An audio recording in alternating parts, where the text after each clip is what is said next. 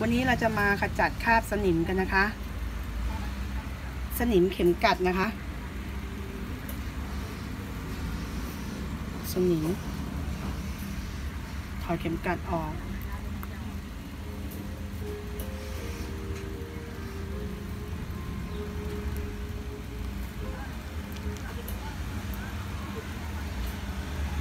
โอ้โหอย่างเยอะเลยนะคะ นะคะ เราจะใช้น้ำยากัดสนิมผ้าของร้านมีมีซักอบรีดนะคะ จุ่มแล้วก็ป้ายแปรงไปเลยนะคะ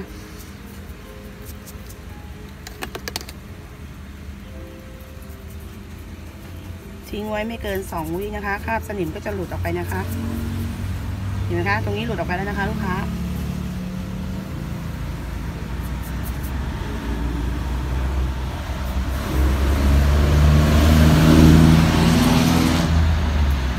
ดูตรงนี้ก่อนนะคะ ที่เยอะ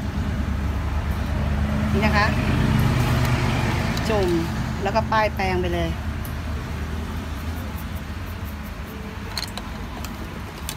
หลังจากนั้นเราก็ไปซักตามปกติได้เลยนะคะ ตรงไหนมีสนิมเราก็ป้ายเอาไว้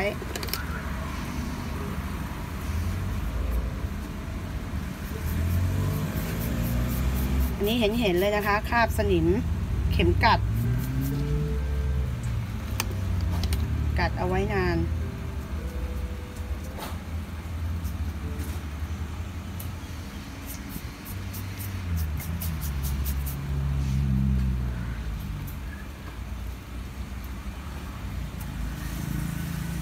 หลุดไปแล้วนะคะ ลูกค้า เห็นไหมคะ ไม่เหลือแล้วนะคะ